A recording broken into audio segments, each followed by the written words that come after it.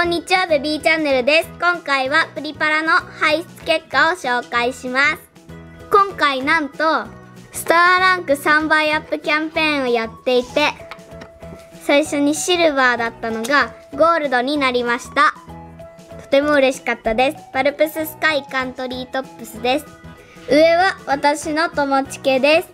パルプススカイカントリーコーデを着ています。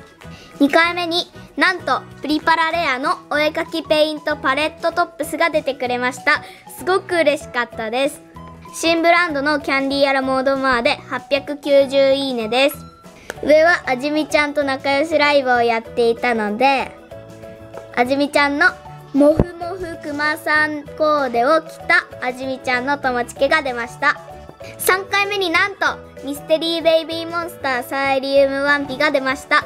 ベイビーモンスターの2350いいねでミステリーレアです。なんと前にミステリーベイビーモンスターサイリウムシューズを排出していたのでコーデが揃いました。イエーイ。上はまたあじみちゃんの友チケです。キャンディーアラモードマーサイリウムコーデを着ています。4回目になんとまたスーパーレアのプリパラポリス熱血シューズが出ました。シルキーハートで730いいねです。上はさっきゲットしたミステリーベイビーモンスターサイリウムコーデを着ました。そして次にサイリウムコーデチャレンジライブをやってキャンディーヤラモードマーサイリウムワンピをゲットしました。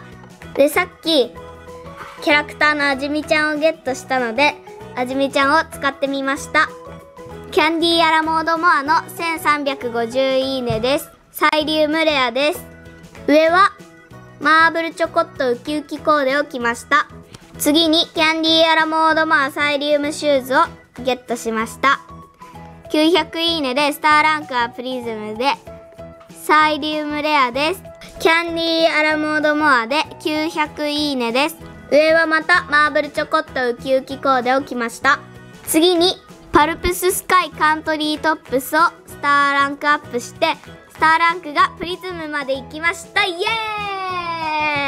ーイ！スターランクをサイリウムレアとミステリーレア以外でマックスにしたことはなかったのですごく嬉しかったです。上はパルプススカイカントリーコーデを着た私の友チケです。最後にドリチケをプレイしました。オムライス明太マヨコーデをゲットしました。シルキーハートの2970いいねでプリパラレアです。ドリトモチケの方はミステリーベイビーモンスターサイリウムコーデを着ました。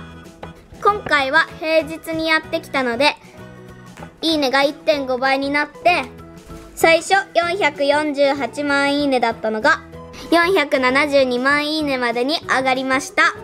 あと次のランクアップまで7万いいねだけになりました。